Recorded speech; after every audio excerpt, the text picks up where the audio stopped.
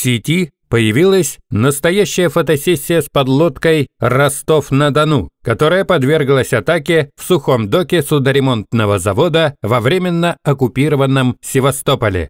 По поводу стоявшего в соседнем доке БДК «Минск» практически сразу поступила информация о том, что если это еще считается кораблем, то уже не очень большим и точно не десантным, потому что вся надстройка нырнула в трюм сквозь прогоревшую палубу. Скорее всего, посудину придется резать. Вывести это из сухого дока в море уже не получится. С другой стороны, предприимчивым деятелям от этого будет ощутимый профит. Деньги на ремонт можно списать сразу и металлолом продать в Турцию. Правда, оттуда еще надо извлечь жареных орков, потому что продать металл с подозрительным запахом не получится. Оккупанты давно притупили свой нюх на такие ароматы, хоть там и рассказывает о том, что в Украине погибло 31 тысяча полтора военнослужащих РФ. Но Раша пресса описывает то, что случайно вывалилось из тендеров. Министерство труда и защиты России заказало 230 тысяч удостоверений для членов семей погибших на войне. При этом 200 тысяч удостоверений распределят в Минобороны, а еще 30 тысяч в Минсоцзащиты. При этом необходимо понимать, что именно этот тираж не был первым. Еще перед началом широкомасштабного вторжения ведомства имели какой-то запас таких удостоверений, потому что официально войска оккупантов вели войну в Сирии, а неофициально в Украине. И поэтому запас таких КСИФ был изначально, а потом были еще тиражи по несколько десятков тысяч, а этот заказ оказался самым крупным. То же самое касается и удостоверений УБД.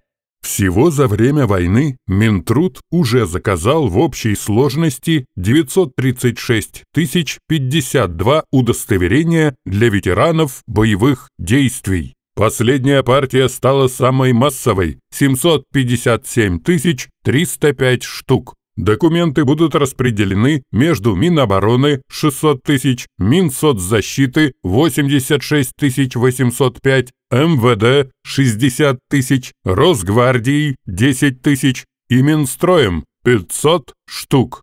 Так что запах спецобосрации действительно там стал привычным, и перед отправкой БДК на лом в Турцию придется постараться. А вот с подлодкой не было такой окончательной ясности, спутниковые снимки не давали полной картины. А сейчас появились фото непосредственно из сухого дока. Как видно, такие повреждения были бы слишком серьезными даже для надводного корабля, а для субмарины это смертный приговор. Там не только пробоины основного корпуса в нескольких местах, но и заметно поехала геометрия всей конструкции. Теперь нельзя сказать «не бита, не крашена», а специалисты по кузовному авторемонту скажут наверняка, что выставить нужные углы конструкции уже не получится, и развал схождения тут уже не отрегулировать. А ведь снаружи, как минимум, болтается еще два подбитых корабля, которых бы тоже хорошо поставить в сухой док.